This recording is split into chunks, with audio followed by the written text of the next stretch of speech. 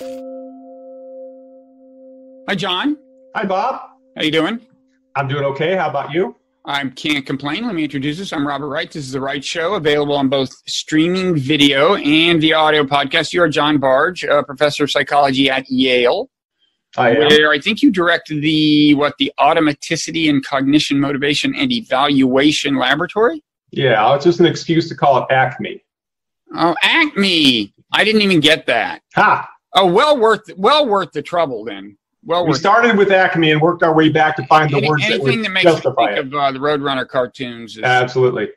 time well spent. Um, so uh, automaticity uh, refers to kind of uh, the idea that a lot of our behavior is uh, unconsciously mediated. It happens without our making conscious decisions about it, which has been kind of the unifying theme of your research. And we're going to talk about the book of yours that uh, kind of uh, summarizes your your research. It's called Before You Know It.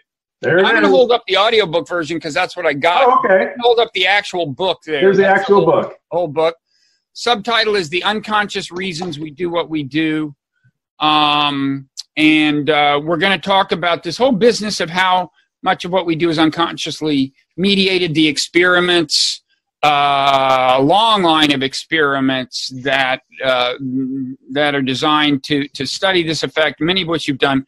We're also going to talk about the whole replication issue in psychology because uh, if you if you Google uh, replication crisis, it'll fill it. The autofill will say in psychology. That that's um, Right. it- it's become a big uh, thing because um, for a couple of reasons. One is that just most experiments, people finally realize don't get nobody tries to replicate them. No, you know, you, so, so there's no Yes. there's no second party kind of corroborating them. And then they discovered that. Um, uh, actually, when you try to replicate them, some of them seem not to hold up. Or at least the same effect is not found by the people who try to replicate them. Uh, this has been true with some of the studies we're going to talk about. Uh, so I, I throw that out as a, as a caveat, and we'll, we'll we'll get into the replication stuff at the end, um, uh, which is a very interesting subject in its own right. Because for Mhm. one thing, uh, when experimenters do make errors, if that is the case, if that is the re- the reason they fail to replicate, that the initial experimenters made errors, that could be the effect of unconscious processes at work, right? It's possible it goes that way. Uh, it, it can go either way. Uh, unconscious biases work in both directions. Yep. It can also work uh, to influence uh, a failure to replicate if Right. People are skeptical about about that effect. Um, for example, if a finding goes against someone's pet theory, uh, they may try to replicate and may not realize they have an unconscious bias operating Right. against replicating. So it could Right. go either way. And then there is such thing as out and out fraud, but I think that's not what accounts for most of. There have been some cases. There was a case of a Dutch psychologist that they wrote up in the New York Times Magazine some years ago. Fascinating uh, study, which was actually Yes. in this genre of experiment. It was a, I think it was a priming study, so-called priming. Uh, actually, he did not do priming studies. Oh, he uh, he started to do very outlandish kinds of uh, ridiculous studies. Uh, just to, he says in his book he wrote about that uh, that he was trying to get caught. He was trying to push it.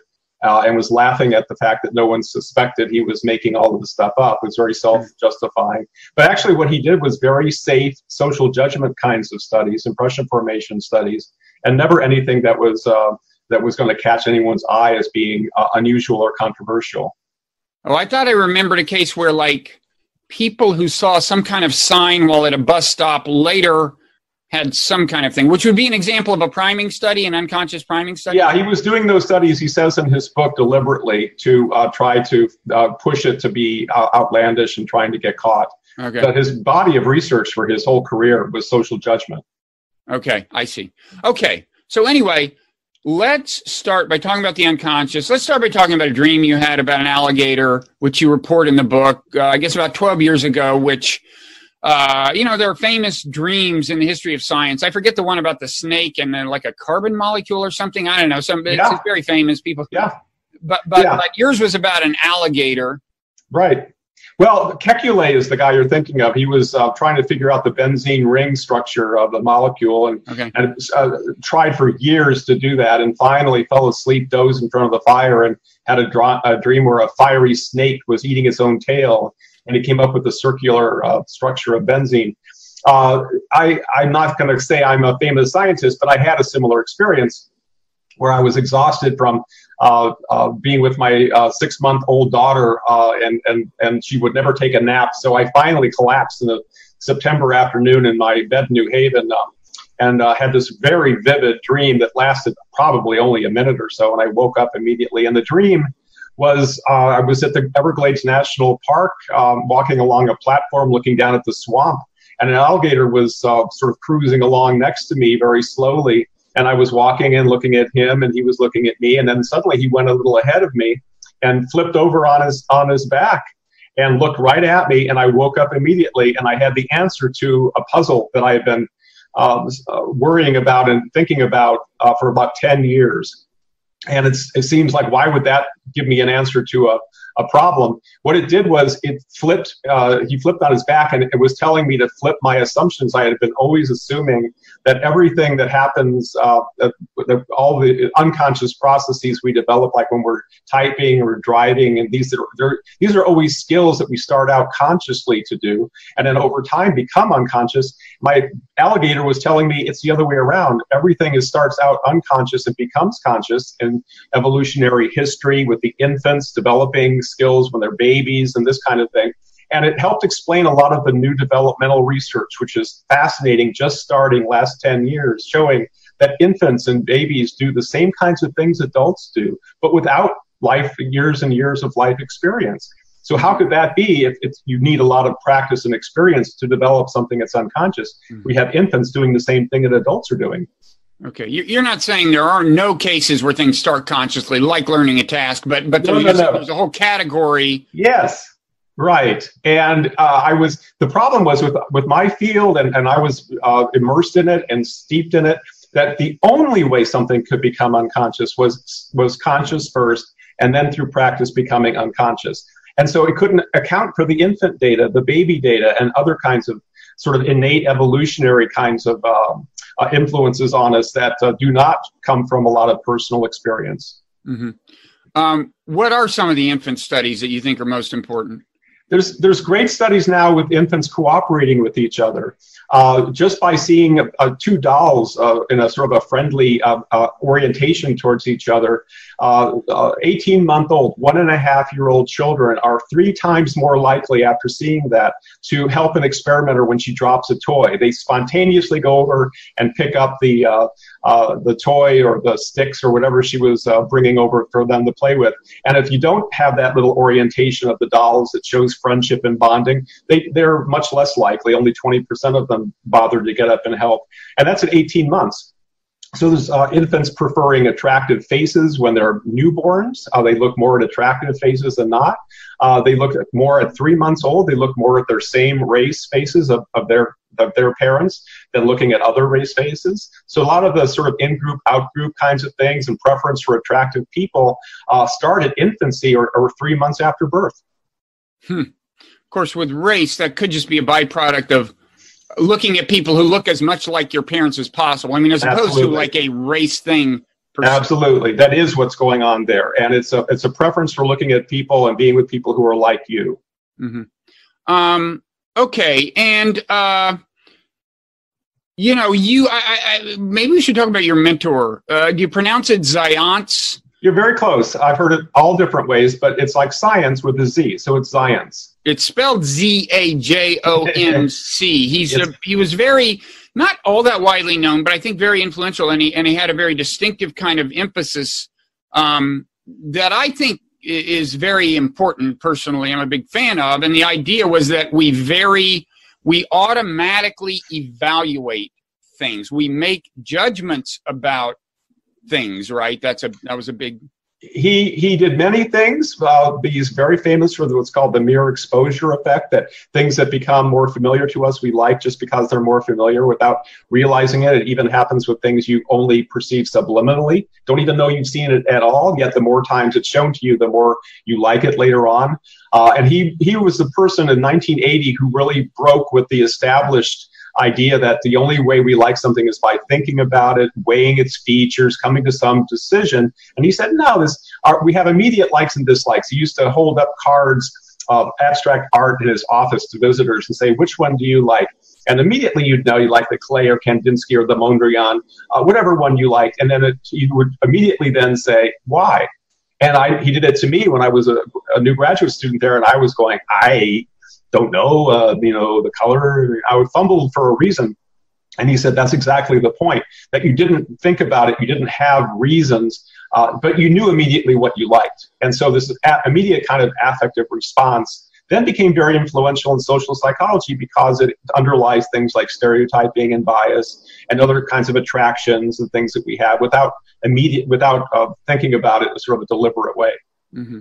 And it turns out that there's evidence that really a wide variety of objects that you might not think, you know, elicit super strong reactions people do tend to have, however subtly, a positive or negative affective reaction to, right? Just objects. Yeah, we have some uh, really recent research. Anton Gollwitzer, who's uh, a graduate student at Yale, uh, we have a paper in Nature that came out last December showing that you have we we all have preferences for uh, consistent patterns, like a series of triangles or things in the same color or lines that are parallel.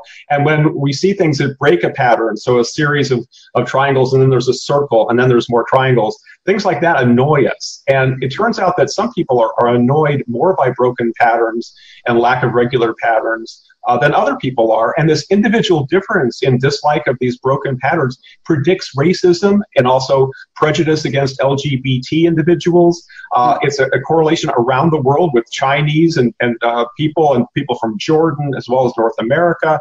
Uh, it's very robust and it's very it's found in three to five year old children too as he did a study in Central Park showing uh, uh, with the children there, showing the same kinds of effects. So is, it's is an it, underlying uh, preference for physical things, right? It's not the triangles and lines and things, but yet it, it relates to our social preferences. Now, is that correlated with openness on the Big Five uh, personality?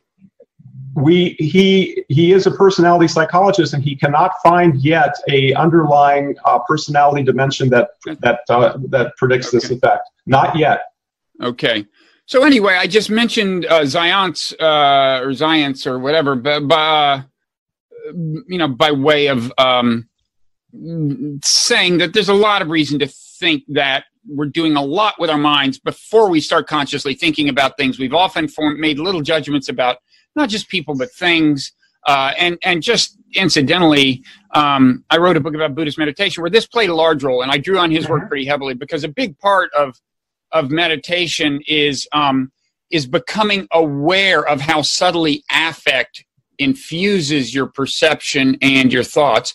And I think that in turn is a larger theme in contemporary psychology, right? That that to think of like cog- the cognitive apparatus on the one hand and the affective or emotional apparatus is just too simple. It's much much more intertwining. It is, and there's a lot of our sort of innate preferences. I'll, I'll give you an example of uh, attractive people uh, looking at attractive faces actually directly activates the reward uh, region of our brain, the, the striatum where, where reward is, uh, the more rewarding or pleasurable something is, the more it act, is activated. Merely looking at attractive faces activates that reward center. And there's a large study of uh, Italian uh, uh, job uh, applicants and hiring positions about five years ago, a major paper, 11,000 applicants to these jobs. Uh, and they they tested sent these uh, applications, the identical application to these job uh, openings, uh, but attached an attractive photograph, an unattractive photograph, or no photograph with the same application, 57% of the attractive women were called for an interview. 6% of the unattractive women were called for an interview. And these were the identical applications. The same thing happened for men, but not as big of an effect. And, and people were shocked. They said, this is not how we hire people. This is not supposed to be a basis for our hiring decisions. And what that shows is the feeling, the positive feeling you get from someone who's attractive is misattributed. People thought, I thought this was a better application. I thought mm. this person was more qualified. Uh, same thing happens in biases going the other way, that you think someone is not qualified, but it's really the feeling you get from, say, a racial stereotype or gender stereotype. It's that you don't really know the source of it, and you think it's because of what you're focusing on, which is the application. Mm-hmm. Okay, let's talk a little about politics because I think uh, you talk about this in the book, and uh, it's an interesting realm. For starters, there's this finding about the connection between your aversion to disease and germs on the one hand and your views on immigration on the other. And I think you did some of this work. I think other people have done some as well. Is that right? Uh, we did the immigration flu studies. Uh, other people have done studies showing that uh, uh, there's many studies in political psychology in the past showing that you can make a liberal into a conservative by threatening them, by having them feel threat or, or fear. And that drives people to become more conservative in their political attitudes. There's a lot of studies 20 years ago on that. Okay, tell us about uh, the tell us about the flu study. Yeah, so I had a wonderful uh, grad student who's now a professor at Stony Brook named Julie Huang, uh, and her idea was there was these evolved kinds of systems that influence our even abstract attitudes, like our political attitudes and political orientations. And what she showed was that during this was back when the H1N1 virus was uh, prevalent in uh, 2011 or 12. And uh, we were just starting to get those Purell antibacterial uh, hand washing stations at Yale uh, for the first time all over campus. And it was a very serious thing. So what she did was people going into the dining hall, she first raised their uh, awareness of uh, the fact that we have this flu epidemic and uh, it was important to get a flu shot. And so then after that, she okay, that was the sort of public service message. Uh, but then she gave a study uh, to them to do, and the study was just attitudes towards immigration. And what happened was the people who were uh, reminded about the flu virus, uh, but had not yet gotten a flu shot. We found that out after the study. We asked them if they'd gotten the flu shot yet.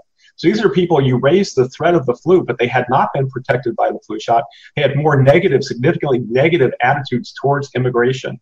But the people we raised the threat to and had, it turned out, gotten the flu shot felt safe from it and they felt safer, so they had more positive attitudes towards immigration. And you think, well, why in the world would your flu shot uh, status or your uh, washing your hands, which is a different study, uh, uh affect your immigration attitudes?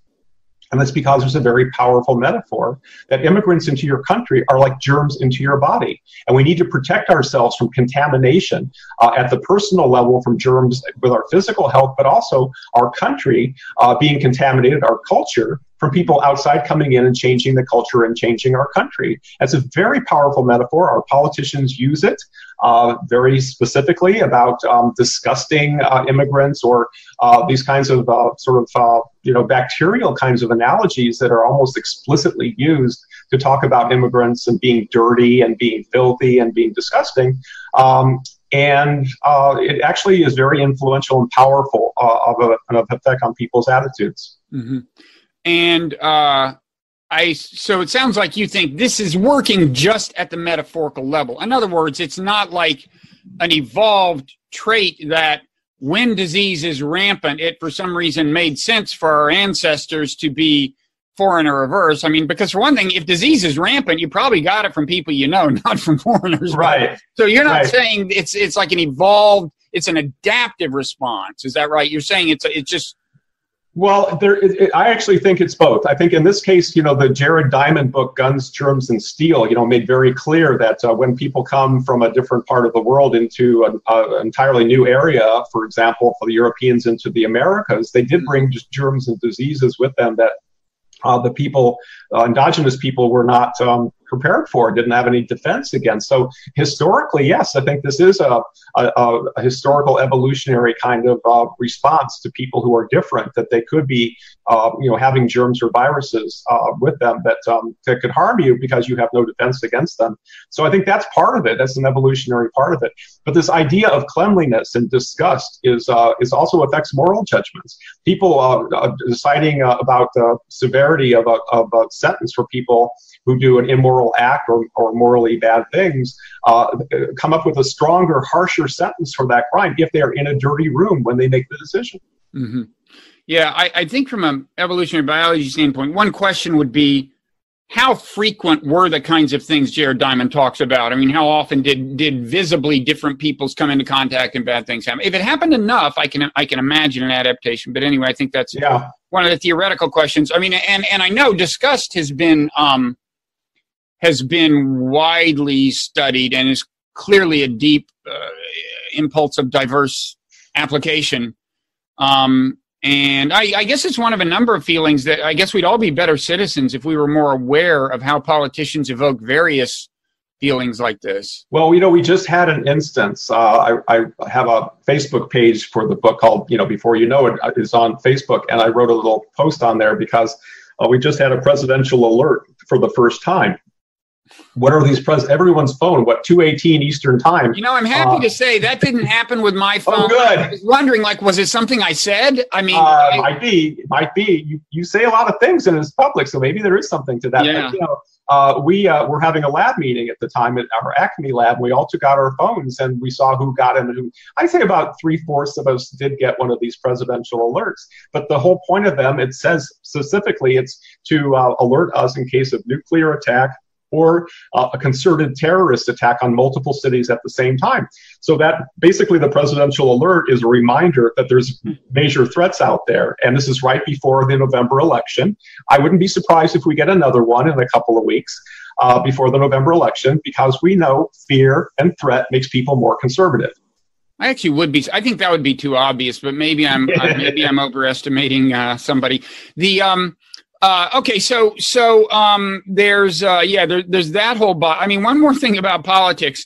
This is a finding. I don't think this is your finding, but you mentioned. I guess there's a fairly well established correlation now between fear and conservatism. Again, it's not absolute. It's not a statement about all conservatives or, or all fearful people, but I guess the correlation itself is somewhat well established, and the as is the fact that by making people more fearful, you can make them answer uh, things on a questionnaire that indicate more conservatism.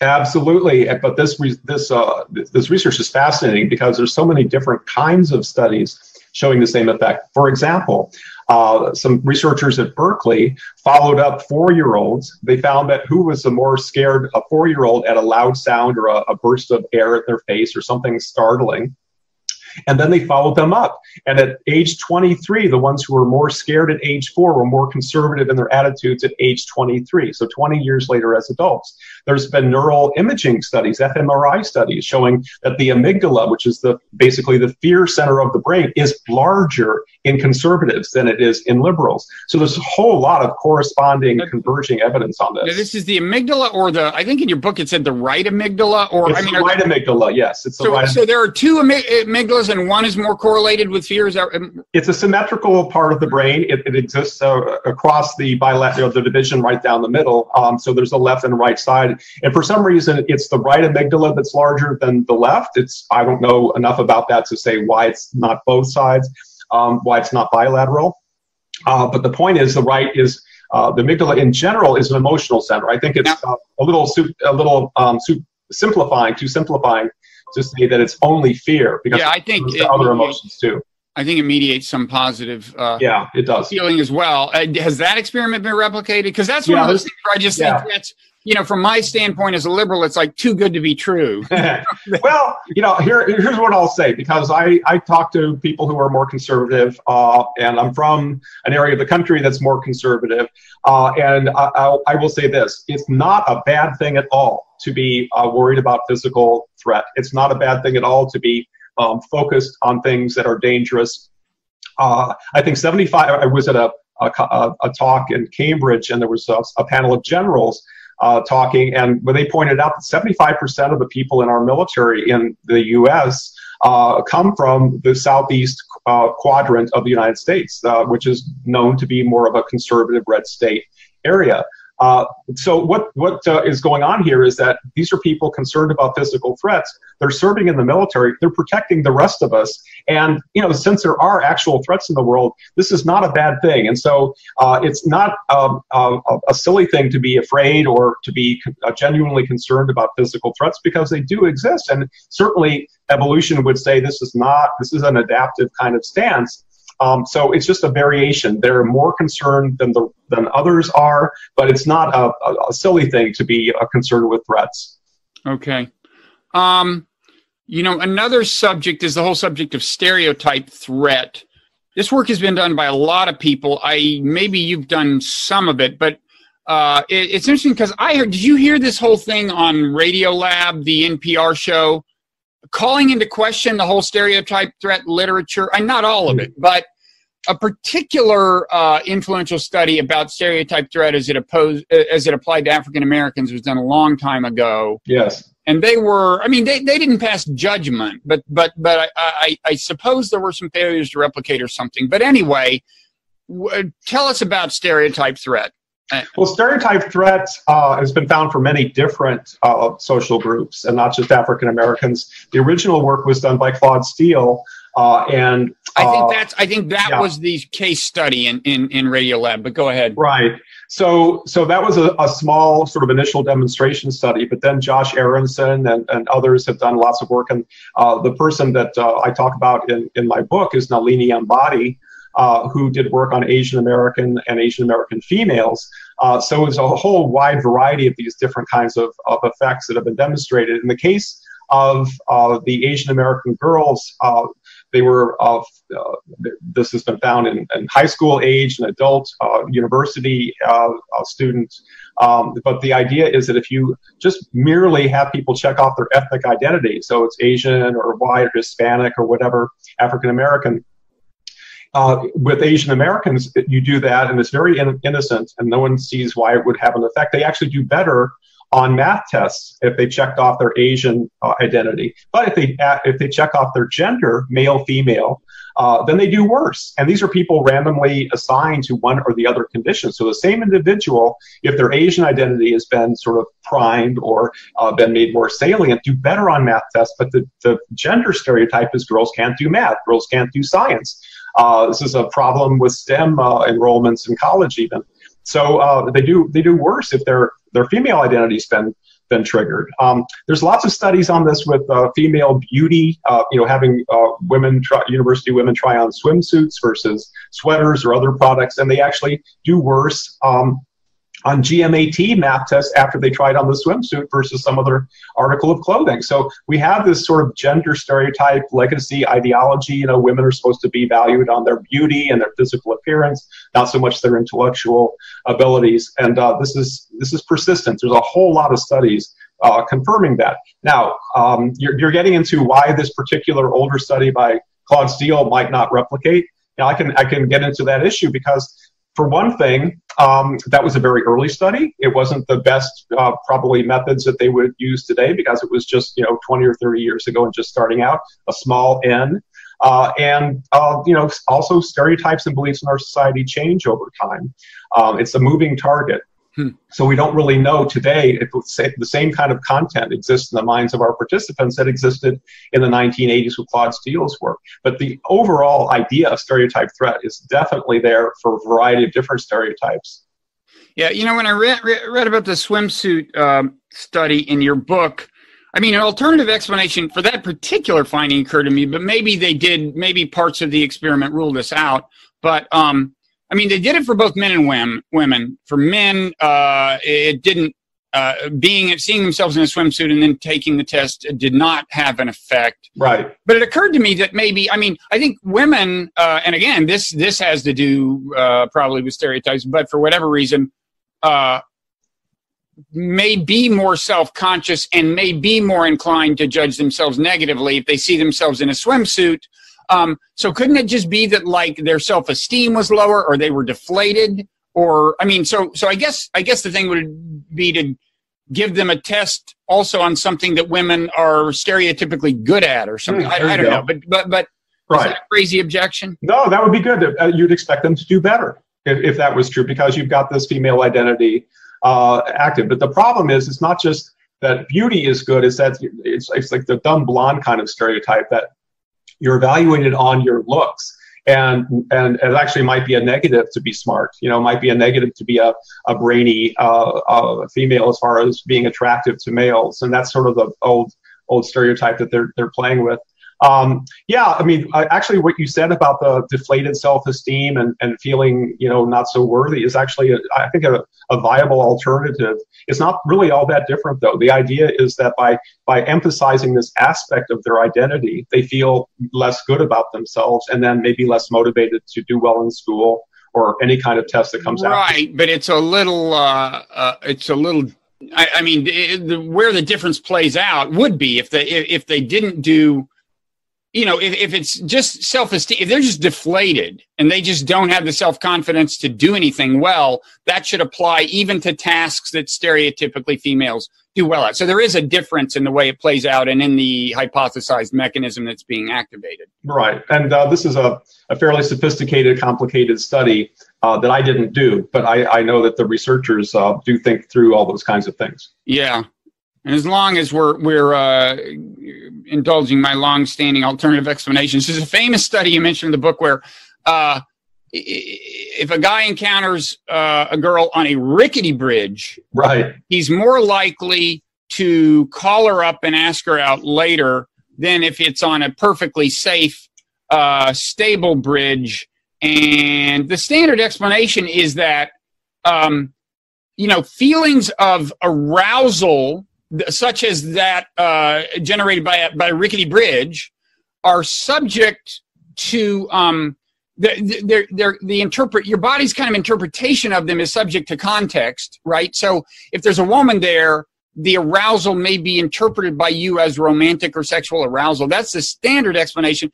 My yeah. question is, could it not also be that like the guy's thinking again, maybe unconsciously, but like she saw me being totally calm in this unsafe situation. She's probably impressed. Uh, okay, but then why would they be more likely to call her back? Because they think she will go on a she will go on a date. They're imagining that she was impressed. Uh, okay, that's possible. I, I don't know. I mean, I think that's that's uh, that's you. possible. Thank you. I've been harboring that for years. Uh, okay, uh, possibly since Psych 101 decades ago. But uh, yeah, that's possible. Yeah, sure.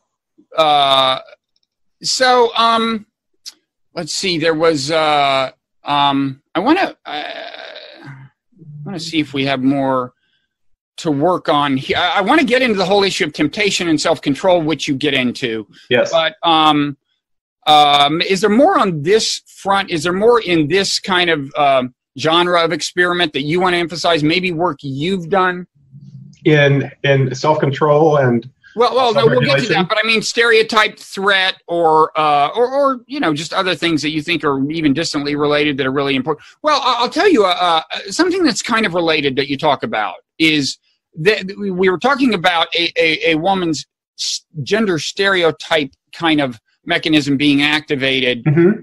You also did work on the activation of the Protestant work ethic. Yes. Is uh, you know, it's it's it's one of these "woe if true" things, as they say on Twitter, because it's it's just well, there are two dimensions of it. Talk about the generic one, where just the effect that the word heaven has on Americans in your findings? We are a very religious country, and we are an anomaly. Uh, we're an exceptional country in this regard because we're an advanced uh, economy. And uh, most of the advanced economies in the world have gone the other direction over the last 50 years and become much more secular. Uh, the percentage of people who go to uh, religious service weekly uh, is, is uh, 10, 20% at most in the, in the European countries. And other countries with advanced economies really have become more secular. We have not changed. We are at the same percentage of people go to church on Sunday or Saturday in the US as they did in the 1940s. Um, more people believe in God and believe in the devil as, as, as real, uh, over 70% in the US compared to 5% in, in European countries.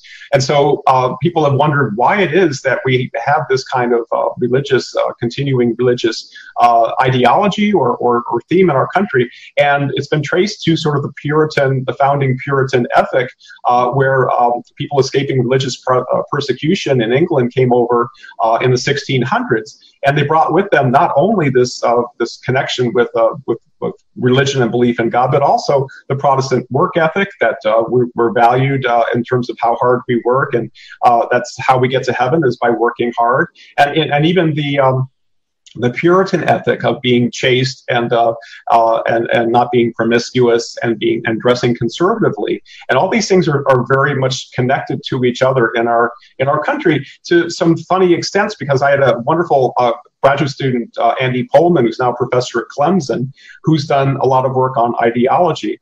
And uh, he traveled around the world and, and asked people the same question in Asia, in, in Italy, and in South America, and, and all over the world. And the question was basically imagine a potato peeler or a dishwasher very low end, uh, not making any money, working hard, uh, very poor person, they suddenly win, uh, win the lottery. And in two versions, one is the person then you know quits the potato peeling job and uh, and relaxes and has a nice life, or the other one is the potato peeler continues to work peeling potatoes or washing dishes or whatever it was, even after he wins the lottery. And around the what do you think of this person? And around the world, everyone thinks he's nuts. I mean, what, what's this guy? You know, wins the lottery, he's still washing dishes in a restaurant. But Americans love this guy and we're the only country in the world who loves this guy. Hmm. and uh, it's and, and, and, I do too. I mean, I hear that story. Yeah, what a great, you know, he's still working even though he has the money. You know, what a guy. And uh, it, but everyone else thinks he's nuts. You know, he's like a, he's an idiot for doing this. Uh, so that's that's sort of an example of how basic this Protestant work ethic is in our in our society and how it influences what we think about people. Yeah, and so you did a study where. Um, this is this is an example of a priming study where you you present people with a stimulus and they, they they don't consciously recognize how it's going to influence their future behavior. In some priming studies, the stimulus is actually subliminal, so something is flashed so briefly it doesn't enter conscious awareness. But this isn't that kind. It isn't subliminal priming. It, it's a case where they they read some passage that had the word heaven in it, right? And what was the effect? Uh, I'm not sure which study. I'm sorry, which which one you're talking well, about. Well, I, I, think um, there's a lot of uh, religious priming studies actually uh, that do that kind of thing. People become more moral. Uh, they become more honest. There's a lot of pro-social uh, consequences of religious priming, and there's many, many hundreds of studies now that uh, that have demonstrated that. Well, I, I think it um, it it somehow primed the Protestant work ethic. Okay. I forget the it, it involved like it worked on an anagram, an anagram or something. It made the work harder oh, okay. or something.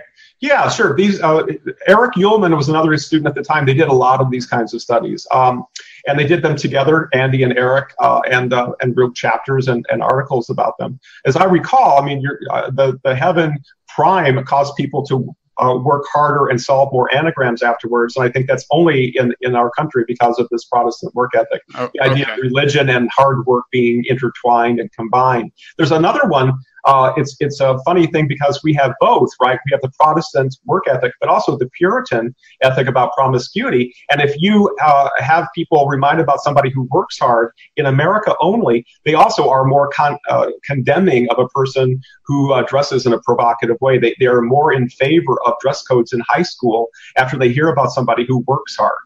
And so why would that is semantically, logically unrelated. But in the United States only, since those two are combined in our founding ideology, uh, you have an effect of working hard causes people to be more, uh, you know, in line with the Puritan ethic too. Okay, so I was thinking you had done that study. Maybe you didn't, um, and maybe you didn't do this one either. But this was the one where I thought I would definitely like to see replicated. Not that it couldn't be the case; it just seemed like amazing to me. Um, where with Asian Americans, when they primed their the the American part of their identity, like some of them they would they would give material that, that mentioned Asian foods and so on, and some they would activate things with references to American culture. Asian Americans who were primed with references to American culture uh, were more puritanical in their answers to certain questions, right? Like, for example, the, the dress code. For example, the high school dress code. Uh, if Asian Americans uh, describe their favorite American food, like hamburgers or steaks or something, then they're more puritanical as far as their uh, appealings about a, a, you know provocative dress in high school. But if they're um, asked what their favorite Asian food is, they're not. It's it's really only about uh, uh, their American part of their identity. There's a whole lot of really fascinating work going on right now about cultural uh, genetics, even or cultural epigenetics that uh, uh, students, for example, from China who then come and go to school at, say, Ann Arbor, at Michigan, or someplace like that, actually are showing uh, genetic changes uh, in their RNA uh, based on the fact that they have a new cultural experience, which is blows people away because no one ever thought that was possible. That your own personal life experience would cause changes to your genes, and this is this fascinating new field that many people are working on, uh, but showing actual, what, what, what, that means then is that these characteristics or, or behaviors or traits will then be passed down to your children, right? Because it's in your genetic uh, makeup, uh, so that your own children will be more uh, of that new culture where you have moved from. Uh, so this is a whole new thing in the last, you know, uh, five to ten years, um, and it's it's just changing the way we think about genetics. Yeah. Um, uh, the whole issue of epigenetics is something I really have to look into and get into and talk to more people about it because, uh, yes, the idea is that in some sense, but in some kind of obscure and, and not straightforward sense, um, environmental influences can perhaps affect the genetic information you transmit to your your offspring. It's less than straightforward, so I shouldn't say anything more about it than that. But um, so quickly, I said we would talk about temptation and stuff. One thing you and I have in common is that we both decided at some point in our lives that we just would not drink. Yes. Now, uh, and I've, I've, uh, uh, one thing I've said about myself is I don't have micro discipline. I have some macro discipline. And uh, you, um, one thing you say in the book is actually it turns out that most people that we think of as being able to resist temptation what they're doing is constructing their environment in a way that there just isn't much temptation. Absolutely. That's the best, most effective way there is. And this is funny because the idea of self control and willpower has always been this effortful willpower uh, struggle uh, to, to uh, uh stifle these impulses. And the people who are really, the, turns out, this is very new research, uh, last five, six years, uh, the people who are very effective at self-control really are the ones who uh, rely on the more automatic and the less effortful ways, like not not buying the desserts to have in the refrigerator as a temptation, or not having the alcohol at home, uh, or or structuring their their world where uh, it's very easy to exercise and very easy to do the things that they want to, and developing good habits, new habits that and then they just they don't have to decide or even try; they just actually do the thing they want to do. Yeah, of course, it takes a kind of self discipline, I guess, at least at the self supermarket, not to buy the stuff. But that's Absolutely. different from having to muster at every moment of your waking life.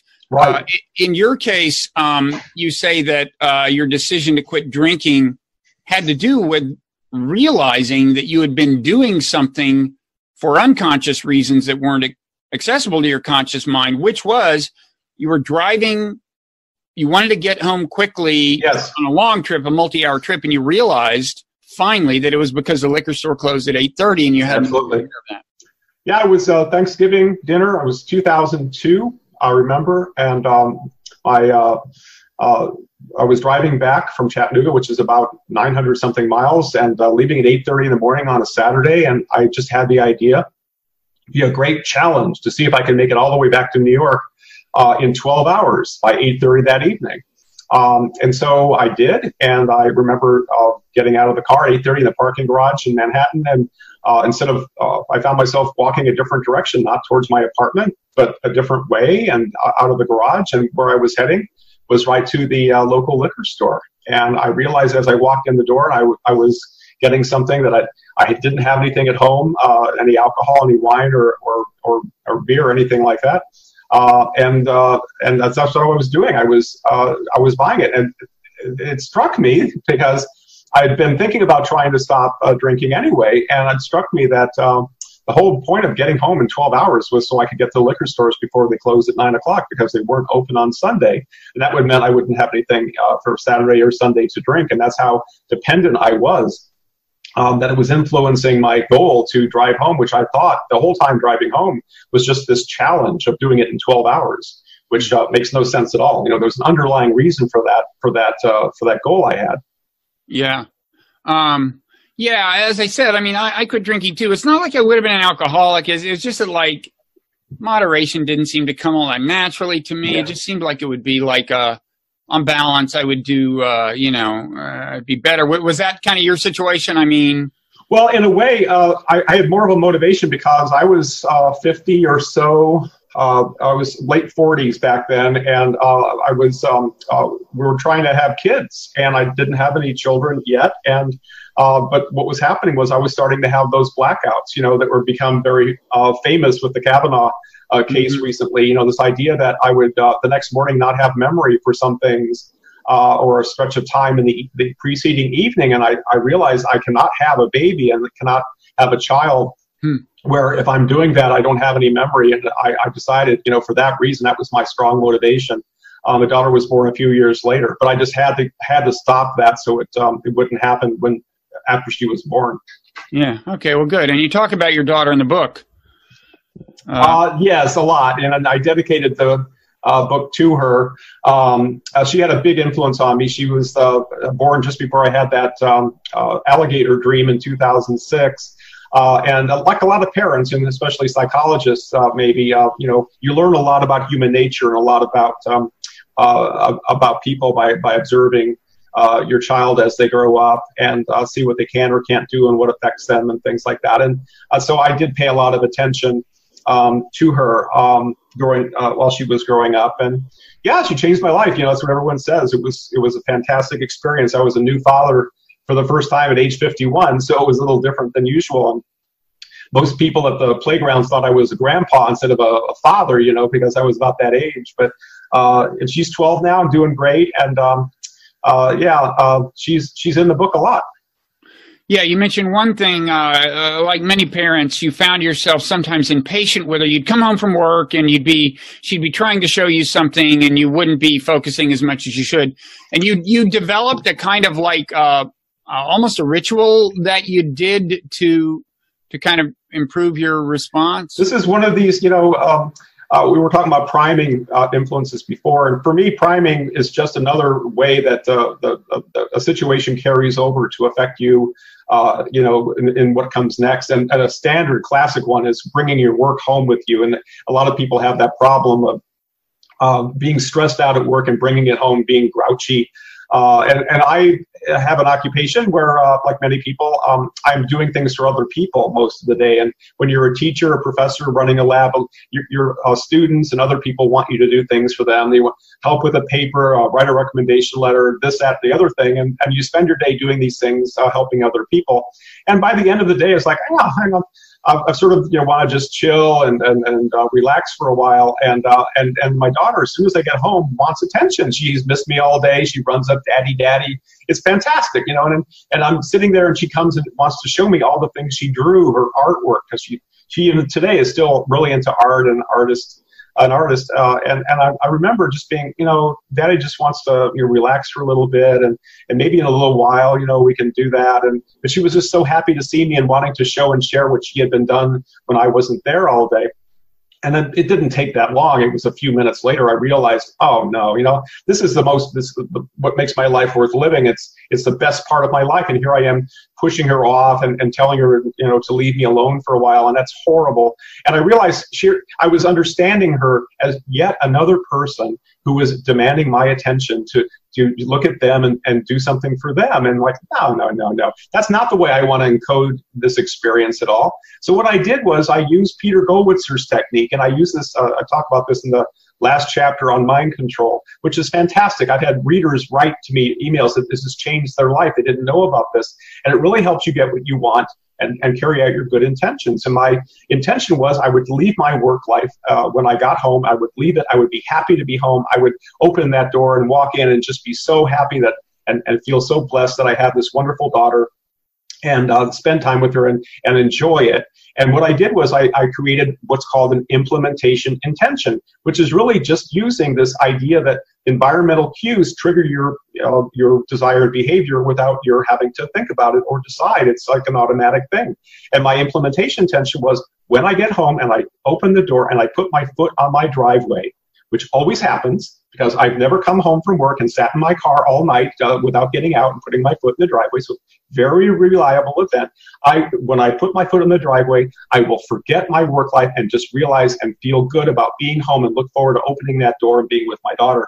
And it works so well. It just changed everything. I would immediately feel this this happiness and this relief uh, from the day's uh, stress, and I would open the door and just you know, pick her up and be with her and until she got finally to sleep at night. And uh, it, it changed everything. It was wonderful. Do you actually like pause or did you one point like pause, stop, like after you got out of the car? It, it is that kind of effect. Uh, uh, for me, it was I would I would actually want to stop I would want to stop and break from uh, what was going on in my mind and, and just totally clear it. So it was like I would step out and I would feel this feeling like something shifted. You know, it was like a seismic shift, or maybe not seismic, but you know, a shift that the, the reality had just changed, had shifted, and and, I, and, it would always happen when my foot hit the pavement because that was the cue um, that that I, I uh, that I made. You know, I, I have uh, the other time, the first time I ever used it, I tried it out after I hear, heard about it. I had a book uh, at, when I was at NYU. My colleague, I borrowed from a colleague, and he wanted it back. He was writing a paper, and I said, "Okay, I'll bring it in." Well, the next day, where's the book? Oh, I forgot. You know, next day, oh, I forgot. I would, I would have the good intention of bringing the book back, but I always forgot. I forgot about it later on, which is the problem with conscious intentions. Often you forget them. Forget Increasingly, I find yes. Yeah. So what I did was I said, okay, when I get home, I will immediately go put the book in my briefcase, and then it'll be there. So when I come in the next morning, it'll be there. So I come home, I'm in my apartment in, in the Greenwich Village, and I open the door. It's dark, and I find myself walking into the bedroom in the dark. I'm like, what am I? And I realized what I was doing is walking right to my desk, and I was standing in front of my desk, looking down, and there was the book. Before I, I totally forgot again about bringing this book in aha so i and i don't usually walk into the bedroom in the dark i usually go into the kitchen and get something you know to drink or eat and i went right to my bedroom in the dark i put the book in my book uh, in my briefcase and that was the end of it it was the first time i'd ever tried it um, and it does the, the trick is that it has to be something that really is you're sure is going to happen so for example people pick their uh, children up at say five o'clock well what about uh, if it's a day where they get out early and you have to go at three. Well, you can forget, and they could be standing on the street in front of the school for two hours. So you can say, you know, when the clock strikes three, or some other cue that reminds you that it's three, you know, uh, then I will immediately get up and, and head to the car and, and, and do that. So it, it, helps you when you're doing something that's a little unusual, that's not your usual habit. And, and so it turns out to be a great way to break a bad habit uh, or to start a new one. Uh, people who want to exercise can say, you know, and they're not finding the time or they're forgetting to exercise. When I come home and I'm changing upstairs in the bedroom out of my work clothes, I will immediately put on my sh- running shorts and my running shoes. Mm-hmm. Well, yeah. And you start doing that and you realize, you know, what else would I do if, with my running shoes and my running shorts on but go out for a run, you know? And it works great. Yeah, you look pretty silly just going yeah. to a bar in your uh, running gear. Absolutely. So, um, so uh, let's before we talk about the replication issue, let's talk about one more set of experiments you're associated with. It takes us back kind of to your mentor, uh, Zajonc or Zajonc, um, uh, who who emphasized that like the reason we you know we evaluate things as positive or negative, often without realizing it, is because since the beginning of animal life, it's there have been things that animals needed to approach and things that animals needed to avoid. I mean, bacteria approach things and avoid things, and positive and negative affect seems to be the thing that's associated with it. So it's deeply built into us. And you, I, I think you're the one who did this. You kind of operationalized this in the form of the lever pulling, pushing thing. Right, right, right. Do you want to talk about that? Sure that what we realized was that this is such a fundamental, and Bob and Bob Zajonc uh, pointed this out, you know, first. Uh, a fundamental reaction to the world is approach or avoid, to to go towards or or be away, or to something as friend or something as foe, and that is the most primitive reaction we have to almost anything. And, and as you say, protozoa, single cell um, organisms have the same thing, uh, as do uh, all the way through the animal kingdom uh, spectrum. So uh, that that we have these immediate good and bad reactions, not so that little good and bad um, things happen in our head, but because natural selection only operates on, on what we actually do, on actual behavior. So it would make sense that these are connected to actually doing something immediately. So we uh, used what other people had found with uh, sort of an automatic good bad evaluation for anything, even though are not trying to evaluate them but we uh, connected the effect to instead of saying the word out loud or making some kind of um, a mental decision, we connected it to a lever where they pushed a lever or pulled a lever as fast as they could when they saw the thing that was good or bad. And what happened was people were faster to to use the approach muscles uh, of pushing, uh, of reaching for something, of, of approaching something with their hand uh, when it was good, and they were faster to pull their hand back and pull the lever backwards when it was a bad thing even though they weren't trying to evaluate. They were just pulling the lever or pushing the lever to make their response. So immediately after deciding split second whether something is good or bad, again, without even intending to, our muscles are, are predisposed to do the right thing. Uh, to approach or avoid that thing as a very crude but very fast and adaptive response. So if I um, so one of the versions of this is you show me a bunch of things on the screen and you say every time you see one pull the lever towards you when i see things that i have positive associations with i will pull faster even though you didn't you told me to pull as fast as i can in every case but it will take me a little longer if i see you know like rattlesnakes an obvious case because you actually literally want to get away from a rattlesnake. That's right. But even things where it's subtler and you wouldn't be evading the object if it's negatively valenced, you're saying it, it, it will take me lo- a little bit longer to do the pulling. And with right. pushing, it would be the opposite. It would exactly. be rattlesnake would be fast. Right. Uh, you know, and so on. So, right. um, now this this is and you've done a variety of things uh, with it. In fact, one of the things I mean, you didn't do this, but uh, some experimenter cl- says they've found a way to actually weaken the effect of stereotype by by like getting people to what is it like if they see African Americans, I mean, assuming they have a mm-hmm. they're biased against them, then then the deal would be they pull the lever toward them when they see an image of an African American, and and this supposedly has some positive actual effect on their subsequent attitude. It does. It does. It takes a lot of training, though. It takes like an hour of doing this, and you do see these changes in their implicit attitudes uh, because they've been either pulling the lever or pushing the lever. So there is a sort of a feedback from the actual response you're making uh, that changes your attitude. Um, it's probably, I don't think they meant it to be, uh, not a way that we can actually change stereotypes and biases in society because it's a, a lot of, you know, an hour of pulling and pushing levers. But what they were trying to show is that these uh, these kinds of implicit racial, cultural stereotypes we have can be changed in ways that we don't even realize that are mm-hmm. causing a change in our mind through this kind of a muscular uh, approach or avoidance mechanism. Okay, and we should um, we should emphasize the word implicit without going into it. Just mm-hmm. I would mm-hmm. just make the point that it's not like these people are then giving given a questionnaire like how do you feel toward black people, how do you right. feel toward white people. With the implicit uh, method of assessing uh, bias, uh, the idea is, uh, if the logic is sound, that you're not aware at all of what is being gauged. Um, you know, you're not being asked to respond positively or negatively to anything. It shows up much more subtly. So right, right, right. Right. I mean, there's ways that we we leak uh, information about how we really feel uh, when we're even when we're trying to control it, like our facial expression. We may sort of leak the fact that we don't really, you know, mm. not that enthusiastic about something. Uh, but implicit just basically means we're we're revealing something we don't realize that we're revealing. I, my, one of my favorite examples is when people complete sentences and say, "Here's a sentence, complete it," and uh, you get all these kind of stereotypes come revealing.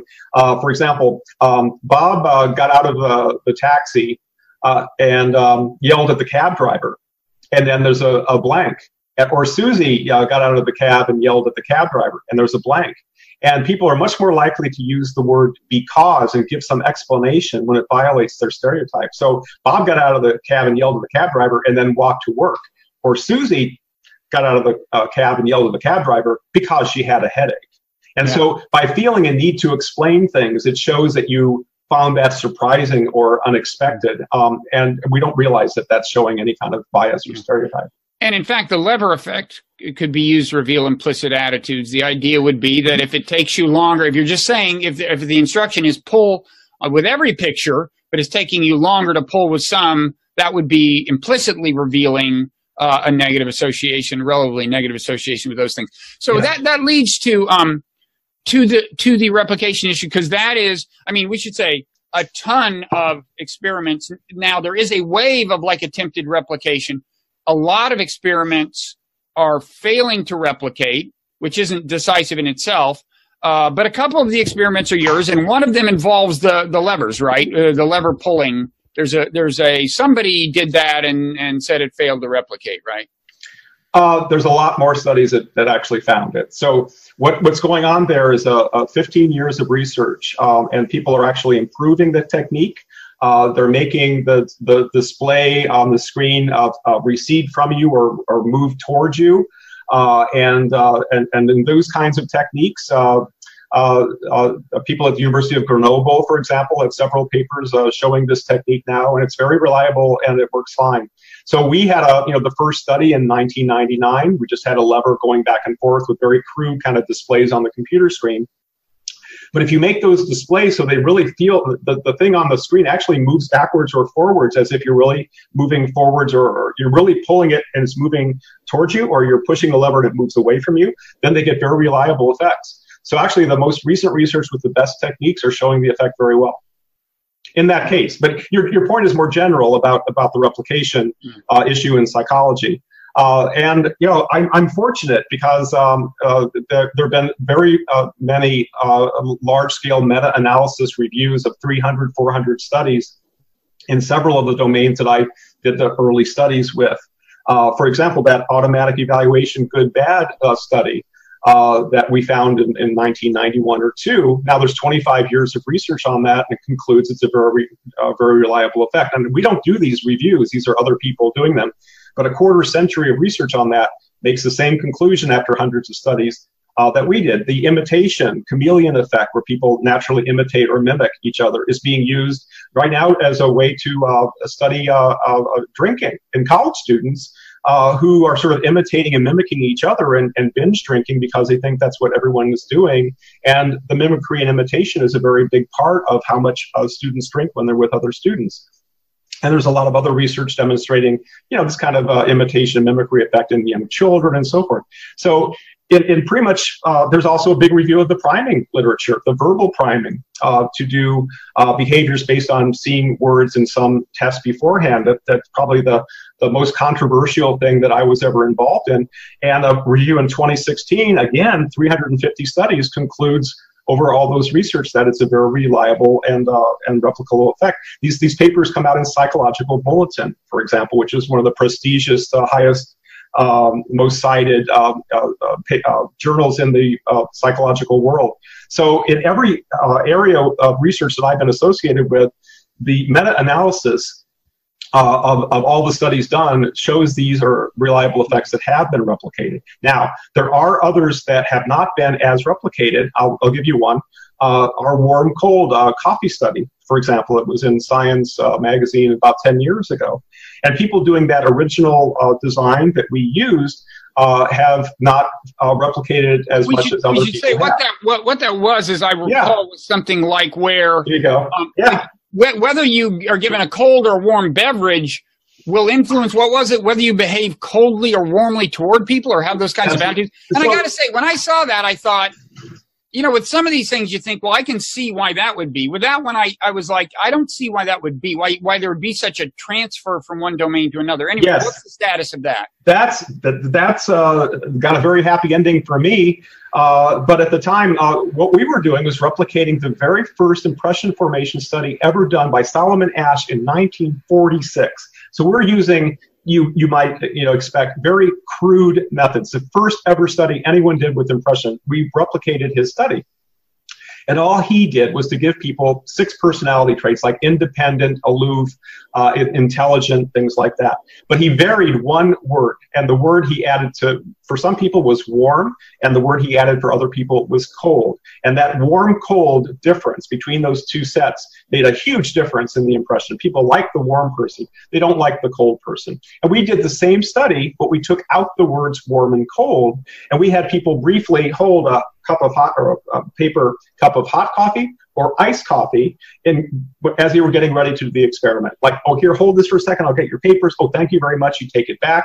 Uh, they either held briefly hot coffee or, or iced coffee. If they had held the iced coffee, they behaved as if the people had seen the word warm in the original Asch study. And if they held the iced coffee, they uh, thought the person, uh, they did not like the person as much. Now, everybody in the study saw exactly the same information. The only difference was had they just briefly held the iced or the, the warm coffee. Now, it turns out there's, there really is a reason for this effect, uh, and it's actually because our brain is hardwired to uh, connect feelings of physical warmth with feelings of social warmth. Uh, the guy who wrote the original attachment work, John Bowlby, actually argued back in the 1970s that this would be the case for all breastfeeding mammals because there's a conflation in our early experience as infants being held more close to the mother at, during breastfeeding, and the physical warmth of the mother's body is associated with the fact that she's feeding us, we can trust her, she protects us, uh, she has our back, and all those good things that really are associated with social warmth, that you can trust the person, they're generous, they care for you, they have your interest at heart. And that's conflated in experience with physical warmth. Um, if you remember those uh, those Harlow monkey studies with the monkeys raised with the wire mother or the cloth mother, the ones with the wire mother were horrible, raised in isolation. They couldn't function later on as adults. They huddled in the corner and rocked and was very pathetic. But the ones with the cloth mother were okay. They weren't the best. They were raised in isolation, after all. But behind, they don't mention this very much, but behind the cloth was a 100 watt light bulb. So what they had and the wire mother uh, monkeys did not have was a source of physical warmth, not social warmth, but the physical warmth was enough for those monkeys to be okay, you know, uh, as adults. So there's neuroscience now since our original study, which was paper and pencil, and that's all.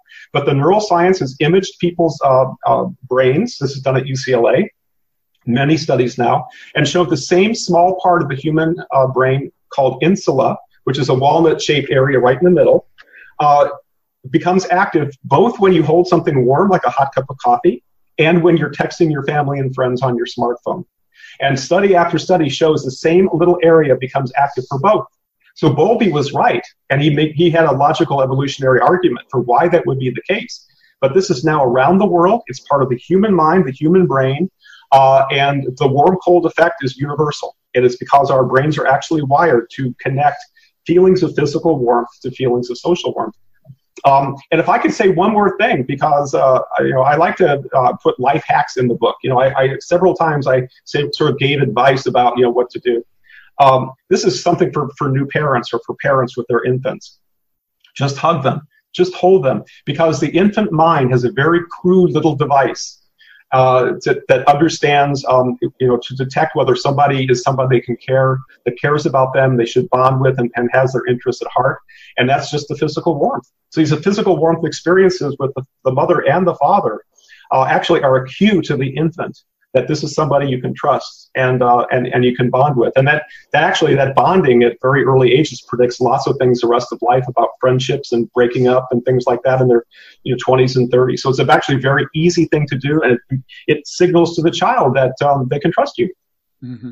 Okay, uh, one more point on on the uh, replication. Um, I mean, as we said, the, the allegation isn't that, that fraud's going on; it's that unconscious uh, biases of the experimenter or are coming into play. In fact, I think I looked at one of these replication studies where they actually tried to show the, that not only the effect didn't hold up, but uh, th- they were arguing that that when they manipulated the the uh, expectations of the observers, the experimental observers though they had uh, that had an effect uh, yes. on, on, whether the observers saw the effect. Yes. Now, uh, I, I, if we can find that, maybe we'll link to it. I, am not recalling it that clearly, but there are other ways. Um, uh, I mean, I mean, some various ways unconscious bias could enter in. W- one is, well, we didn't get the effect we wanted. Oh, I realize we this was there was something wrong in the experimental setup. Well, let's do it again. Well, we didn't quite, quite get the, oh, we, we forgot to do this. Well, if you keep doing an experiment over and over and your definition of the good setup is the one where you get the effect you want, you know, eventually sure. you'll get, chance alone says you'll eventually get the effect. So that's one right. problem. Another is like saying, oh, well, the very, this particular variable, we didn't find the effect, but oh, here's another variable. And that's somewhat the same way where, you, where, where you've got all these different correlations to choose from. Yeah, sure, you can find one. Uh, the point I was I was getting around to is that um, you said that that meta analysis seems to vindicate these. Now, meta analysis is basically uh, a, a, method that doesn't delve, you know, deeply into the individual experiments. It looks at a bunch of experiments and says, well, if all these different experimenters found this effect, or the or, or the bulk of them, the chances of that being due to chance alone are are very slim. On the other hand, the claim from some of these critics is not that the effect is due to chance alone. In other words, the biases aren't random. So if you take something like stereotype threat, they would say, Well, psychologists are famously liberal. They hear about this finding where uh, the reason women do less well on math tests is because they've absorbed the stereotype.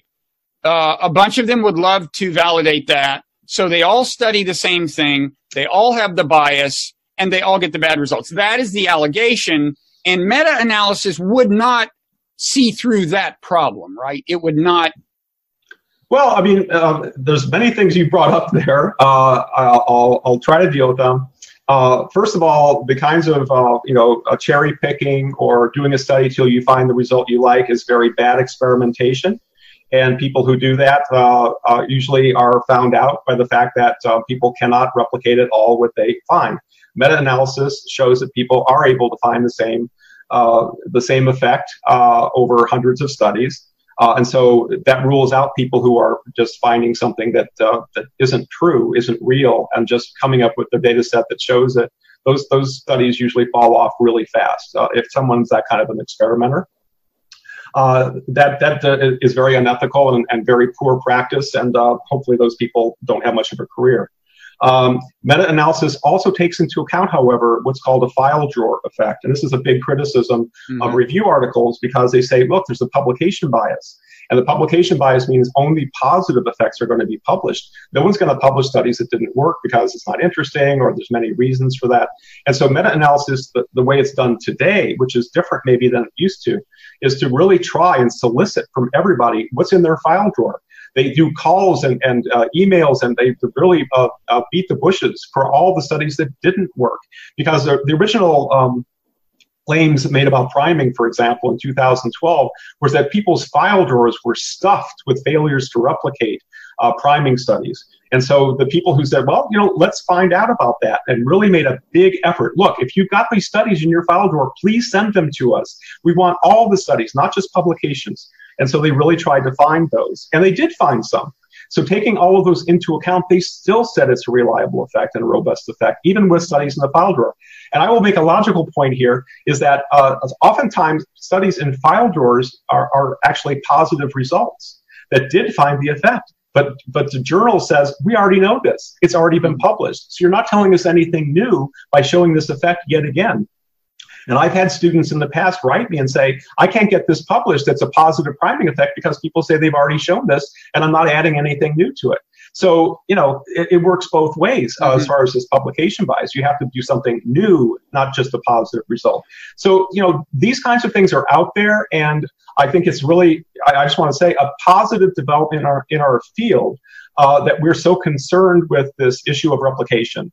Uh, we're also uh, a, a, very a big improvement also has been uh, having larger Ns, larger numbers of people in studies. Because when we started, you know, 30, 40 years ago, we had small studies, 25, 50 people, and and we didn't worry about large Ns. And and and uh, I think now we're much more sensitive to that, and we don't get things published anymore if they're just small little studies, like I used to do, like we all used to do uh, back in the day when our field was starting. So there's been some real improvements in methods, some real improvements in statistics, uh, but there is bias at both directions. I just want to say it, that there's people saying, "Oh, there's a publication bias," but now there's a, you know some encouragement uh, among people on social media uh, to publish failures to replicate, and those are the things that are rewarded uh, now uh, for some people. I don't think there should be rewards either direction. You know, we should be concerned with what's the truth and conveying that to the public so it can be used by people who are paying our salaries and paying our grant money and through taxes.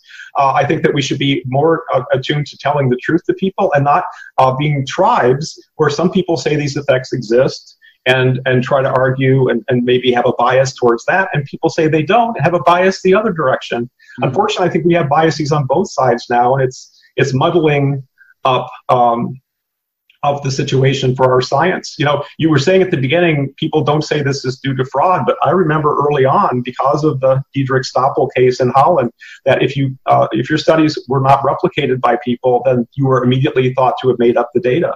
And people would even say uh, on Twitter and, and other uh, social media that you made up your data, you're a fraud because they couldn't replicate you. Mm-hmm. And this was a very scary, bullying kind of fearful environment that still exists to some extent, but really existed back in 2012, 13, and 14.